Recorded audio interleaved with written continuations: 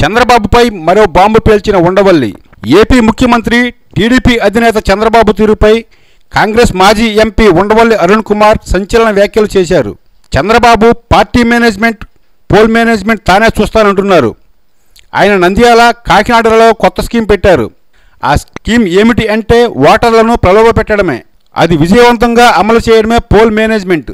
మొన్న జరిగిన ఉప ఎన్నికల్లో టీడీపీ రెండు వేల నుంచి మూడు వేల రూపాయల వరకు ఒక్క ఓటుకు చెల్లించిందని వచ్చే ఎన్నికల్లో కూడా ఇలాగే చేసి ఆయన అధికారంలోకి రావాలని భావిస్తున్నా సాధారణ ఎన్నికలకు ఉప ఎన్నికలకు తేడా ఉంటుందని ఇలాంటి జిమ్మిక్కులు అప్పుడు పనిచేయవని ఉండవల్లి విశ్లేషించారు.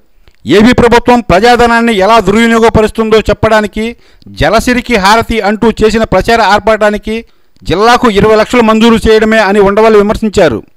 రెండు కోట్ల అరవై లక్షల రూపాయలు దీనికోసం ఖర్చు చేయడం దారుణమన్నారు. రాష్ట్రాన్ని అప్పుల ఊపులోకి చంద్రబాబు తీసుకెళ్తున్నారని ఆత్మహత్య సదృశ్య నిర్ణయాలతో కొంపముంచుతున్నారని అరుణ్ కుమార్ ఆరోపించారు. పోలవరంపై తక్షణం చంద్రబాబు శ్వేతపత్రం విడుదల చేయాలని ఆయన మరోసారి డిమాండ్ చేశారు. కేంద్రం కట్టాల్సిన ప్రాజెక్ట్ నెత్తిన పెట్టుకుని రాష్ట్రాన్ని అప్పుల ఊపులోకి చంద్రబాబు నెడుతున్నారని అరుణ్ కుమార్ ఆరోపించారు.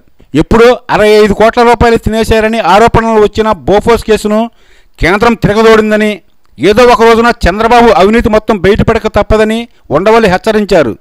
నదుల అనుసంధానం దేశంలో తానే చేశానని ఇది నమ్మండి వాస్తవం యథార్థం సత్యం అంటూ అసత్యాలు పలుకుతూ నమ్మించే ప్రయత్నం ఆయన ఎందుకు చేస్తున్నారో అర్థం కావడం లేదని అన్నారు.